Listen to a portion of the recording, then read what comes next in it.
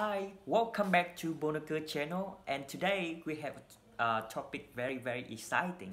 This is media. Yeah.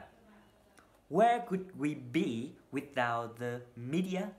How we uh, how could we get information about the world?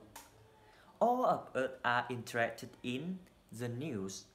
We all want to know what's happened around the world we which the television on just to watch the news. It seems as true every chaining passengers has a newspaper. The journalists who bring us the news do a very important job. Many risk their lives to bring us the news from the world danger zones. Unfortunately, Many spotter reporters are killed while they are covering a war. The media makes us feel we are part of the world.